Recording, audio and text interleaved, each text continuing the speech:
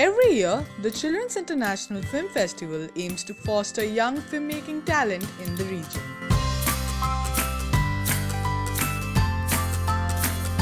As the festival director of CIFF, Deepak Jain gives students an opportunity to showcase their creativity through films. Uh, I think what CIFF is trying to do really is uh, it's giving a test bed to the students in schools to test and taste uh, what it would be like to be in film and media if they want to pursue film and media. Uh, some people may like it, some people may not like it. In terms of the content that we have received, I think the content has sort of remained the same. The quality of content has uh, uh, has been enhanced, has increased.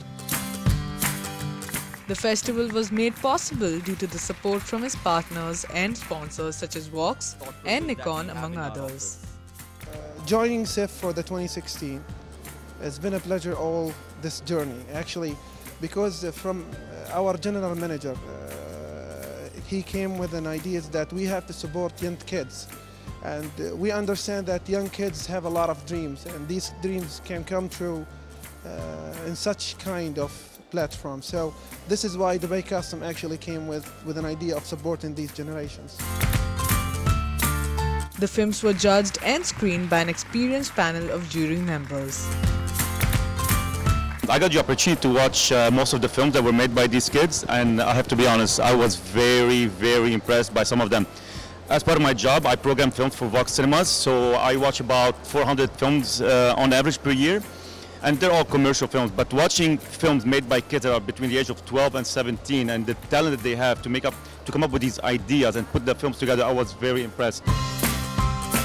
Creative head of the festival, Jyoti Jain, has been instrumental to the growth of the festival since its inception. See, the whole idea is to create uh, the platform where not just you know local um, uh, local talent is promoted, but it, it becomes a platform for the international filmmakers as well, where you know they submit, they start making some really creative content for the children. Because now what's happening is now people have started making films for our festival. Initially, they used to send whatever they had, but now they have already started. They have actually started making films for per- a particular festival for children, you know, for CIFF.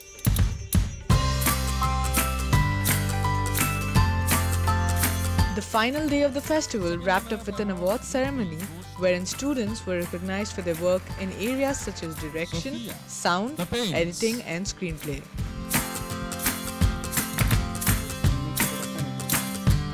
By the looks of it, the Children's International Film Festival is only growing stronger by the year. Without a doubt, CIFF is the best bet for young filmmakers.